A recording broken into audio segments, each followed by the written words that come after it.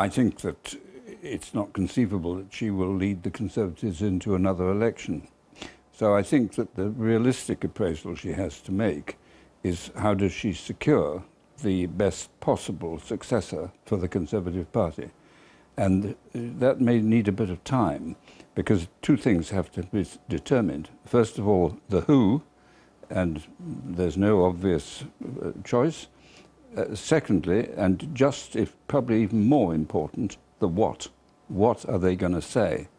My guess is general election in a year, 18 months' time, and uh, the period between now and then is going to be dominated by the same issues that have caused the trouble the continuing austerity and the divisive nature of Brexit. In a sense, then, it doesn't matter what she says if you think she's not going to be around to implement it or to be held account for it. I think that the Queen's speech is going to be dominated by the jumbo Brexit bill and a number of smaller Brexit bills, and everything else will be relatively obscure in party political terms. And if Theresa May goes, does she take her own version of Brexit with her? Does I think that... it's already gone. I think that uh, the idea of a hard Brexit is not credible. I don't think there's a majority for it in Parliament. Uh, we have a split cabinet, we have a split country, and uh, the well, the opening shot, if you like, yesterday, the first meeting, uh, we lost the argument on the issue of uh, uh, the bill we're going to have to pay. We didn't. We wanted to get on to the trade issues, vitally important. The French and the, the Europeans said no. We protested. What happened? They won. Do you think Brexit, as it stands, is dead? Yes, as in, in the hard sense that we're going to leave the whole thing and be our own independent sovereign nation.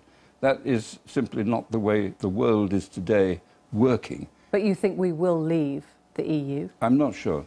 I think that is very much open to question now.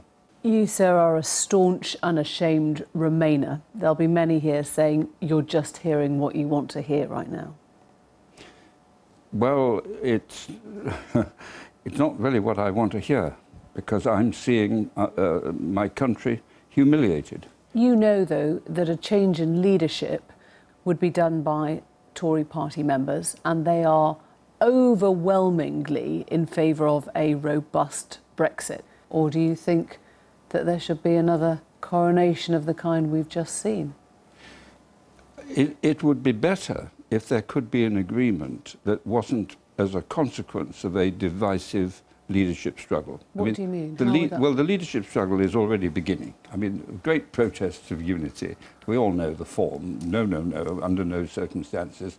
But the friends of each of the potential participants are canvassing the House of Commons, looking for support. That's how it happens, and you can't stop it.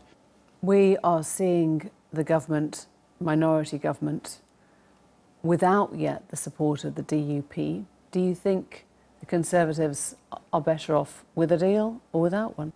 I don't think it's relevant because it won't last long enough to see this Parliament through. Simply the by-election phenomenon, which will start unavoidably and will reflect public disquiet, which is always there in the midterm, is a bigger threat than can be met by what looks like a very fragile relationship if it happens with the DUP. So is there anything that Theresa May can say tomorrow which would give her the authority to reset the clock and start again?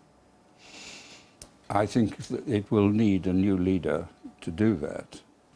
Lord Heseltine, thank you. Thank you.